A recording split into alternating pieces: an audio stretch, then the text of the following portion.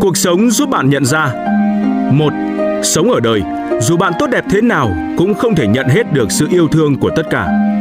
2. Có người hâm mộ, sẽ có người ghét bỏ.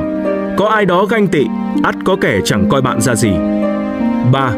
Cuộc sống là như thế, bạn không thể làm hài lòng hết thảy.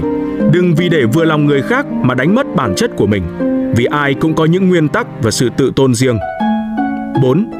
Chúng ta qua miệng người khác không phải là con người toàn diện mà có rất nhiều phiên bản khác nhau, nên chỉ cần là một bản chính tốt là được.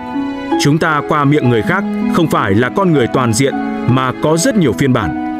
Bởi đời người, ánh mắt giống nhau nhưng góc nhìn khác nhau, miệng giống nhau nhưng mỗi người một cách nói. Trái tim cấu tạo tương đồng nhưng suy nghĩ lại rất dị biệt. Tiền của giống nhau nhưng cách chi tiêu mỗi người một cách. Cũng là con người nhưng mỗi cá nhân có một cách sống, cần tự tin bước đi trên đôi chân của mình. 5. Đại bàng không có tiếng cổ vũ cũng vẫn tung cánh bay cao. 6. Đám cỏ không cần người chăm sóc cũng biết tự vươn mình lớn lên. 7. Hoa dại trong núi sâu dù không ai thưởng thức vẫn tỏa hương thơm ngát. 8. Làm việc không cần người người đều thấu hiểu, chỉ cần dốc lòng hết sức. 9. Làm người không cần ai ai cũng yêu mến, chỉ cần thẳng thắn rộng lượng. Một đời người thật ra không dài lắm, dù sao mình cũng đã đọc đến đây rồi thì nên sống cho đẹp một chút vậy.